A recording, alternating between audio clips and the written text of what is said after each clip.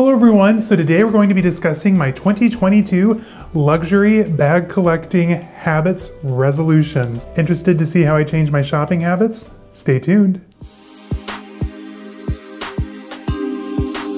Hello everyone and welcome.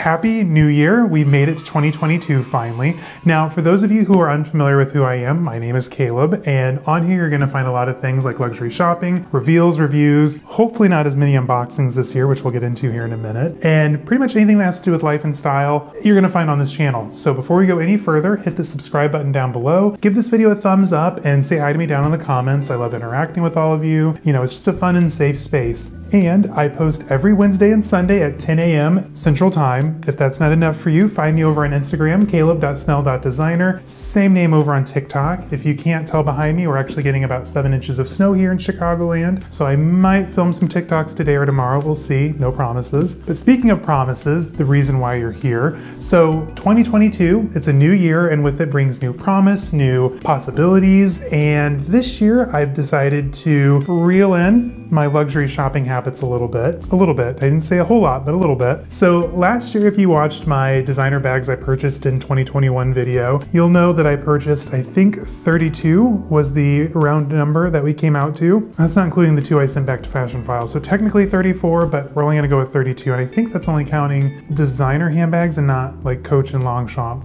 in that case, it might be a little bit more. Anyway, so moving forward this year, I've decided that I don't plan to buy as many bags. I'm going to try and stick to 10 or less. Now, going from 32 to 10 10 still a lot of bags in one year, don't get me wrong, but it's going to take a lot more planning and a lot more mindfulness, which is just kind of going to be the theme, I think, of 2022. 2021, you know, it was a whirlwind of a year. Um, looking back, I don't know, you know, it's only been like 12 months, but it felt like three years crammed into one year. It, it was a long year. A lot happened for me in 2021. I started my YouTube channel. We, I got promoted at work. We moved to the Chicagoland area. Uh, 2021 was a big year, not only for me, but I'm sure for all of you as well. So hopefully 2022, we can slow down, kind of reflect a little bit more, and circling back, be a little bit more mindful. So I've decided to only buy 10 bags this year. I'm gonna buy five bags new from boutiques, which with that, you know, those typically come with a higher price tag, usually quadruple what you can get on like Fashionphile or Rebag. So Again, that's gonna help me kind of reel it in, plan more, save more, which you know I, I, need to do more of this year as well. And then probably about five or so bags from the pre-owned market. So that's gonna be like probably mostly Balenciaga. Quite honestly, I wanna get a good example of a few more bags before the prices skyrocket. I've already noticed that in the um, pre-owned Balenciaga market, the price is already starting to go up. And I kind of wanna be ahead of that trend and get like three or four more. Anyway, so let's get into it. I'm going to break it down by house. We're going to go alphabetically, starting with my favorite, of course, Balenciaga. And we're going to work our way through the alphabet all the way up to Saint Laurent. I'm hoping that this video is only 15 minutes, so keep your fingers crossed. I'm going to try and be fast. So up first, Balenciaga.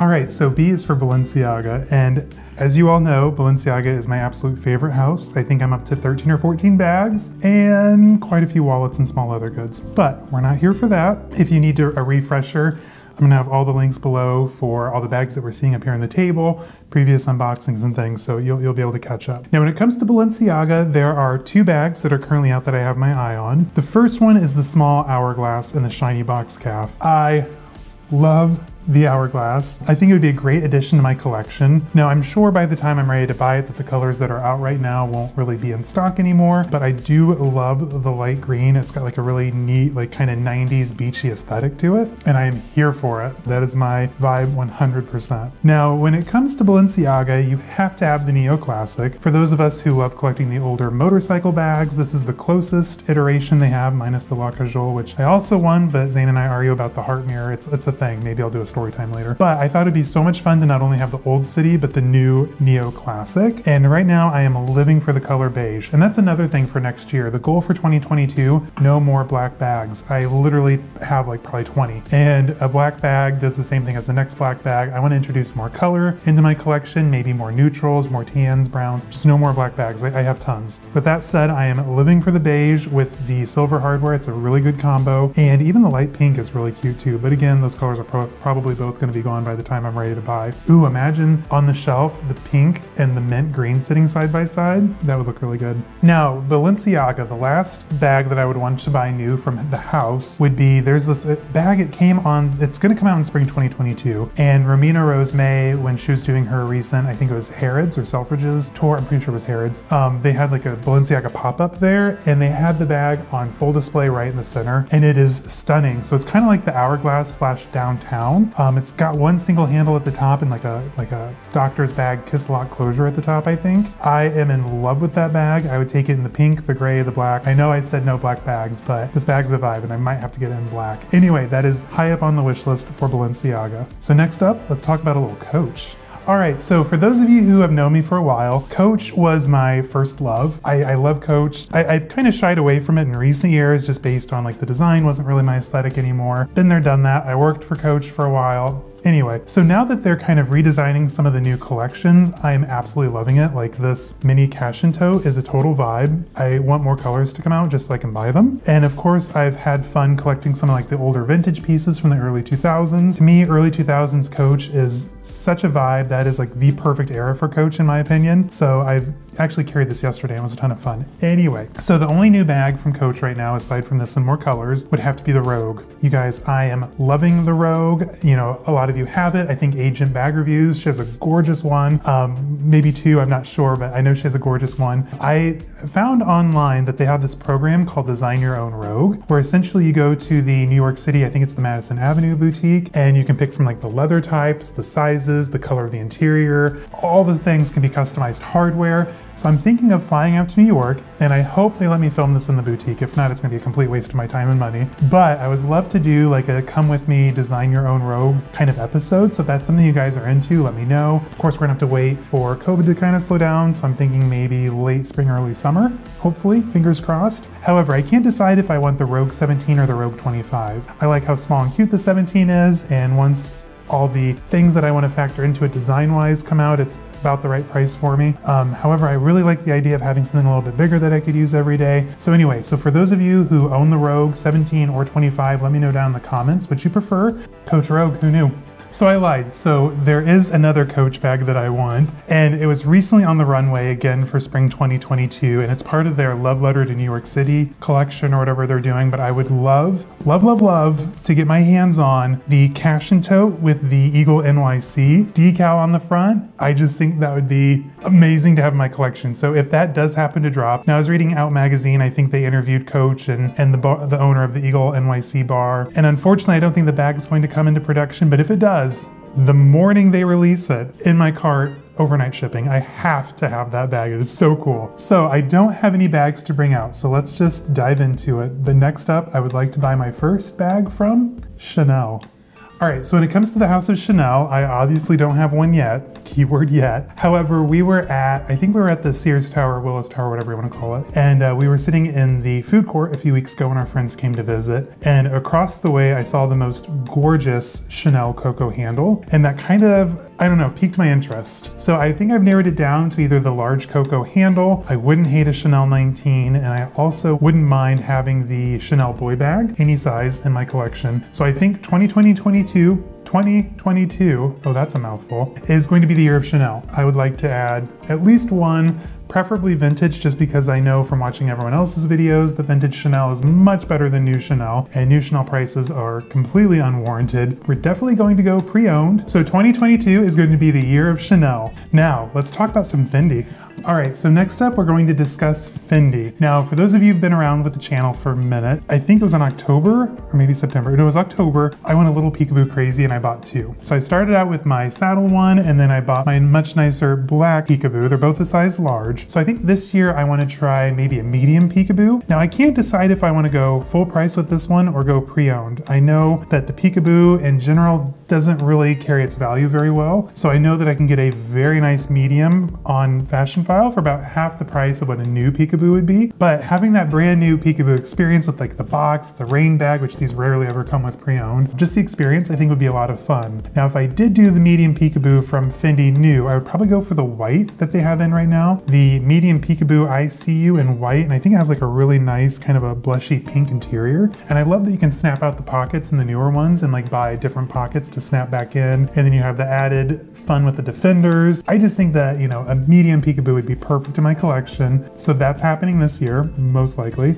And then I'm also in love with the Fendi First Clutch. I'm seeing it on everyone on Instagram and on, on YouTube, and I think it's an amazing bag. This is probably one that I would get for, go for in like a lighter tan or like one of the more, you know, the beige or the brown color, the light brown. I think it's a beautiful bag and it would be right at home in my collection. The leather looks amazing. And I love that unique hardware at the top with the F in it. I just think that's super cool. So I think 2022 we're gonna see a Fendi or two. Next up, let's discuss Gucci.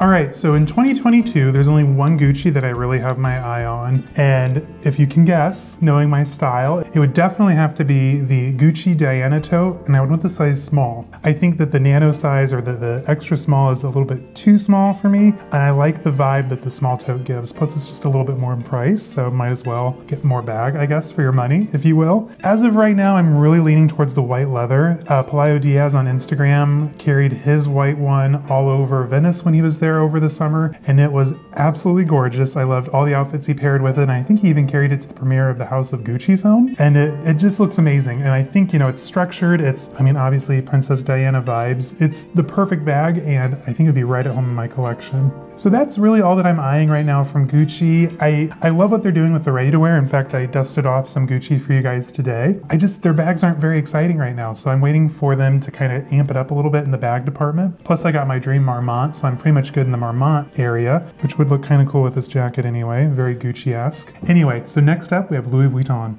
So next up, we're going to discuss Louis Vuitton. Now, this was the house that kind of started my designer bag obsession back in 2006, 2007. I've owned quite a few throughout the years. Uh, right now, it's not a house that's really high up on my radar anymore. I think that the designs, although I can appreciate them, aren't really necessarily my vibe anymore. So I'm kind of, you know, cooling back with, with Louis Vuitton as far as the new designs go. Now, pre-owned, I would love to add some more to my multicolor collection. The Courtney clutch is amazing, especially in black with all those studs. The Beverly MM is definitely going to come in my collection, probably in white. And I'm thinking I need, I probably won't be able to carry it off very well and only carry it occasionally. But I mean, I obviously need the Alma GM and the Speedy 30 in multicolor, right? So 2022 is going to be the year of multicolor. However, new from the house, there's only one bag that I'm eyeing, and it's the Speedy 40. Not the bandolier, just the typical straight up handheld Speedy 40. Um, that was the very first brand new bag in my collection way back in January of 2008, and uh, I lost it in a fire rebought it, sold it again, and bought a convertible. And I, I, don't know why I sold it the second time. I was stupid. Now, keep in mind, in January of 2008, I only paid 650 before tax for that bag, and it's now nearly 1500. It would be well over 1500 after tax. So I don't know if I if I want to pay for it to be brand new again, or if I just want to find one from 08 pre-owned. I don't know. So stay tuned and find out with me. However, that would probably be the only bag that I bought brand new from the house. Now, aside from the Speedy 40 new in-house, I would probably want to do maybe the Zippy coin purse again. That was my first brand new high dollar back then for me, SLG. And I wouldn't mind like a Clés and then a four key holder and a pochette a Pochette Toilette 15. If they would, you know, sell me one and not pretend like they don't have it, I'm sure I'd run into that issue like everyone else. Maybe there are a few things from Louis Vuitton that I want, mostly small items. So next up, we're going to talk about one of my favorite houses and the last one in our alphabetical list, the House of Saint Laurent. All right, so for the final house of Saint Laurent, this house probably sparked my interest back in 08 when they added the Muse 2 bag. Now, I, I love this bag. It's one of the easiest bags in my collection to carry. It's light. It's honestly the perfect bag, and it does not receive nearly any amount of love that it should for, you know, such a gorgeous bag from only 15 years ago. So with that in mind, I will be adding a few more of these to my collection, both large and medium. They're at such a price point that, I mean, might as well snap them up before, you know, the late 2000s come back into style. I know right now we're all into like the Y2K trends. So I mean, eventually the 2010s will have to come back, right? So I'm gonna snap these up before everyone else starts to in probably about five, 10 years, and while they're still in good shape. And then the Sade clutch. So I bought this new from the Chicago boutique over the summer. I think I revealed this to you guys in like June or July. So I've had it for a minute, and I've carried it a few times, and I, I do like it. However, of course, after I bought it, they introduced all these fun colors. There's that really bright yellow that they have in the collection, which I really couldn't pull off. I don't really wear a lot of yellow. Plus I have the bright yellow Balenciaga clutch and two yellow clutches in one collection just doesn't add up. To me, but they have it in a gorgeous metallic pink. It's almost like a champagne pink, and it is so gorgeous. I think I first noticed it when we were in Barcelona back in November, and then again, of course, when we were at Saks Fifth Avenue downtown, they of course had a few on display. They are gorgeous, you guys, in the metallic pink. So I love pink. It's one of my favorite colors. I mean, I've painted my apartment pink. We had pink dinnerware. I, I love the color. So I might add that to my collection, and I would also like to add the Sac du Jour. Well, do I? Because it's very structured, so it's basically a Diana tote with gussets, which is basically kind of in the realm of the Birkin. I don't know, maybe I want a sac du jour. If one comes up at outlet in like the all black, well, even though I said I wouldn't buy any more black bags, maybe in gray or in like a navy blue, then I might snag one, but I really do like the sac du jour, so that might be coming into my collection too next year. We'll have to wait and see. All right, everyone, well, thank you for joining me on this 2022 resolution odyssey, I guess is what we could call it. I think that, you know, plans and resolutions, they're great great. They kind of help you build a framework for the year ahead. Do you necessarily have to stick to them 100%? No. I think that it's important to allow yourself to grow and explore and try new things, and maybe resolutions help us get to that endpoint. So anyway, I would like to take a moment and wish you all a very happy, very healthy, and very prosperous 2022. We made it, so let's um, conquer this year, and I'll see you guys on Wednesday. Have a great week, you guys. Bye-bye.